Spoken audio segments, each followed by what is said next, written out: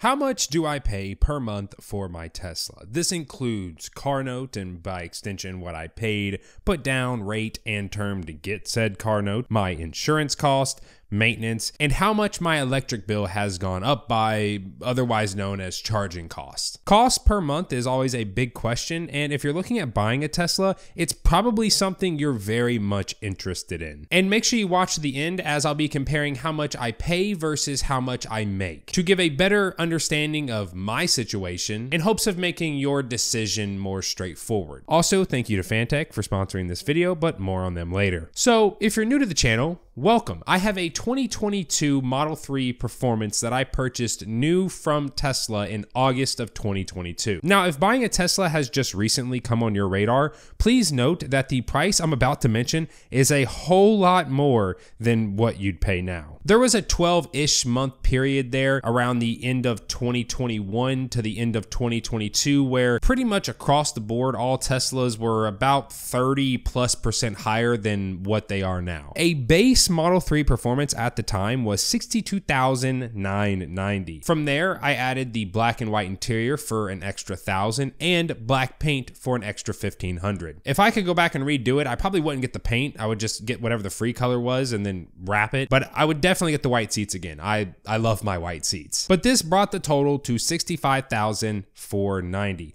Then throw on the $1200 destination fee, $250 order fee, and the $4 tire fee for a grand total of $66,944. Now, my state does charge sales tax, so this doesn't include sales tax, but that's just because I didn't roll it into the loan. I just paid it all up front once I bought the car back to my state because of like dealership laws. I couldn't purchase it directly in my state. But for those curious, it was around like 3000. Now, while 66,000 for a Model 3 in today's world is kind of insane, honestly, it was kind of insane back then, but the justification was price to performance. I did just come off of selling my Model 3 long range, which I had had for almost a year, had put almost 10,000 miles on for 10,000 over what I had paid for it. So yes, I paid an inflated price, but I sold for an inflated price. So it kind of evens out. Or at least that's what I tell myself to help me sleep a little bit better. But now let's talk car note because I did take out a loan. I placed my order in early June and was told I should have the car by the end of June to the beginning of July. And because most car loan approvals are valid for around 30 days or so, I started shopping around at the third to fourth week of June. Another reason for me shopping around at this time was because the Fed had a meeting coming up and they had been raising rates all year. So I was hoping to lock in a decent rate. I knew I wasn't going to get the 2% that I had on my long range, but I was hopeful that it would still be somewhat decent. I ended up getting approvals from three different credit unions, and I got approved for a 3.29, a 3.49, and a 3.79, all at 72 months. One of them also offered a 2.99 at 60 months. I don't remember what the other ones offered at 60 months. I only remember that one because it was my only sub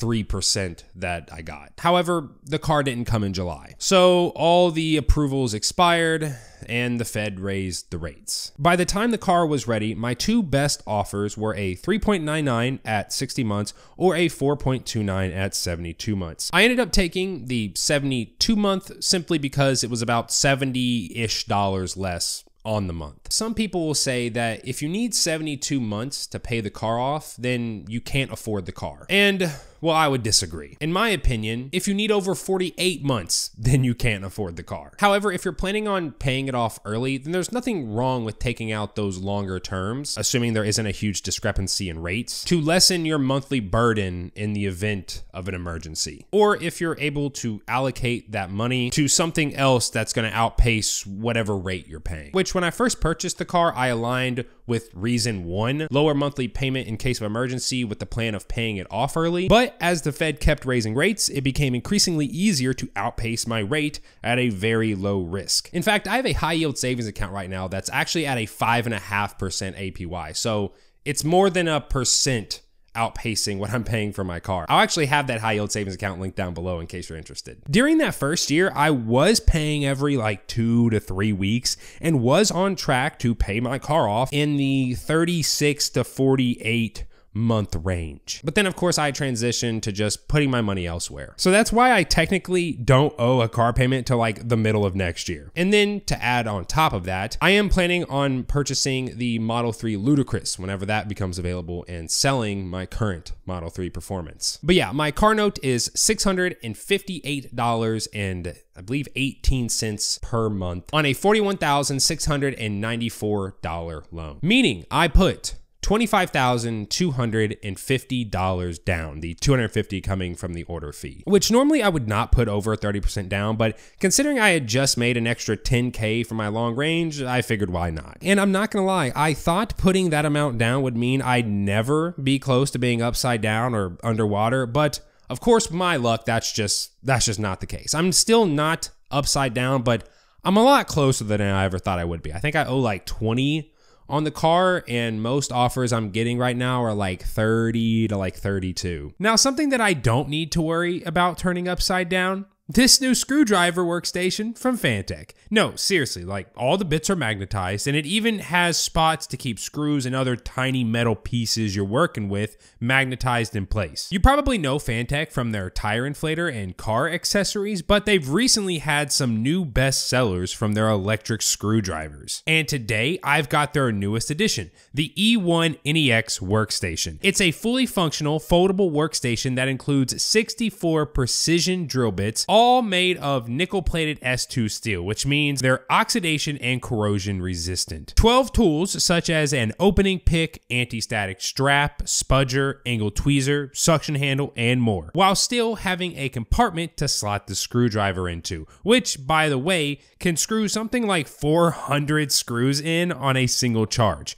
charges via USB-C, has a 0.05 and 0.2 newton meter automatic mode, along with a manual mode for up to 3 newton meters. And the screwdriver also incorporates a flashlight right next to the tip where all the bits magnetize to. The E1 NEX workstation is a fantastic little kit for small electronic device DIYs or just random things around the house, like fixing your kid's a Switch instead of paying Nintendo's outrageous repair prices, phone repairs, glasses. I even used it to fix my box cutter. Plus, it's on a pretty big sale right now. If you use my link down in the description, you'll be taken over to Amazon where you'll be able to apply a $15 off coupon. Then, until the end of March, you can use code WORKSTATION all caps to save an additional 10%. This is a great little workstation, and I guarantee you'll never be asking yourself if you have a bit for that ever again. Now, the next monthly expense is insurance, which I did recently discuss, so I will keep this short. Plus, it's insurance and it can vary widely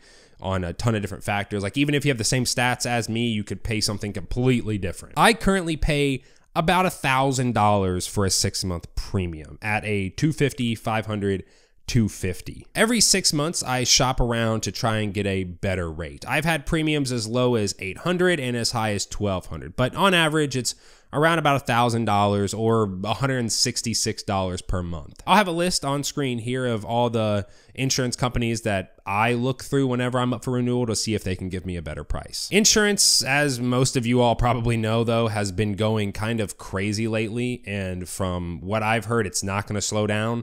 So I expect the average for my insurance to kind of slowly continue creeping up over the next few years. Now, what about maintenance? Because a lot of people do calculate that into their monthly car costs like they should. But to be honest with you, I don't really do that. I have almost 20,000 miles on my car and have not done any maintenance whatsoever except wheel swaps slash rotations but i do all that myself at home. These cars just don't really have maintenance. Like you gotta swap the air cabin filter like every two years and lube up your brake calipers every now and then. But besides that it's not really that much. I actually recently did a video on hidden costs of owning a tesla where i go over all of Tesla's like recommended maintenance straight from the manual and on average how much they cost. And a lot of them are things that you do at like two years or four years or even six years. So, I mean, I guess you could take the amount that you're going to pay at like the six year mark and then divide it by all those many months and then you could tack it on to your monthly cost. But I really just don't do that. It's just pennies on the dollar compared to ICE vehicle maintenance, where the monthly cost actually adds a non insignificant amount. And then finally, my electric bill or charging costs. Unless I am road tripping that month, which I only do a few times a year, then my charging costs are zero for like superchargers and public charging. I do 99.9999 repeating of my charging at home, where I am on an on slash off peak plan, and during those off peak hours, I pay six cents per kilowatt hour. And of course, I don't charge during on peak. Taking a look at TeslaFi, which tracks all my car stats, and I'll have them linked down below. I'm not sponsored or anything, I've just been using them forever. I used exactly 393 kilowatt hours for the month of February, which is on the higher end of my average, but I'd rather give an overestimation on the average than an underestimation. At 6 cents per kilowatt hour, that's about $23 and 50 cents. So 20 to let's just say $30 extra on the month for my electric bill. And I drove a thousand miles last month. So a thousand miles at $23.50, that's about two cents per mile. Adding my car note plus insurance plus charging costs, that puts me at right around about $850. Then add another 50-ish dollars per month for my registration, motor vehicle property tax, and my state's new EV tax. And you're looking at around $900 per month after everything is said and done. Now, I did say I would compare how much I'm paying versus my income. And without getting too into the details, it's around 5% of my monthly income, which I'm not gonna lie is more on the extreme side. What a lot of people recommend and a good rule of thumb is you can go up to about 10% of your monthly income. But if you're really into cars and you're not spending like a crazy percent on your mortgage or your rent, then you could push it up to 20%. I used to be one of those people that thought that you had to drive a beater, pay all cash, and it shouldn't exceed more than like one tenth of your annual like salary. But to be honest with you, I just don't agree with that anymore for a lot of reasons. Most people that tell you to live like that don't, or if they are, then it's not by choice. The safety of those older beaters is nowhere near what the modern cars provide. And just above all, it's it's boring. It's it's very, very boring. Like if it brings you joy, how much is joy worth?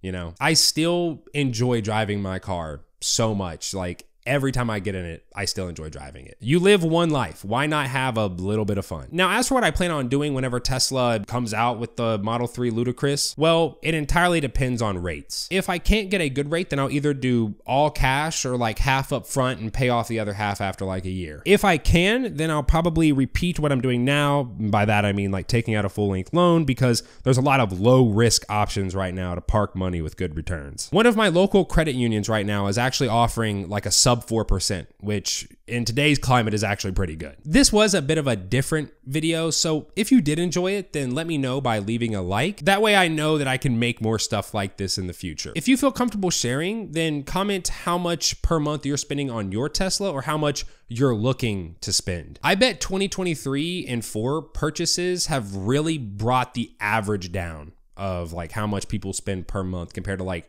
21 and 22 purchasers. If you're new around here and you want to see more Tesla related stuff in your YouTube feed, then feel free to subscribe and I will see you all in the next one. Peace.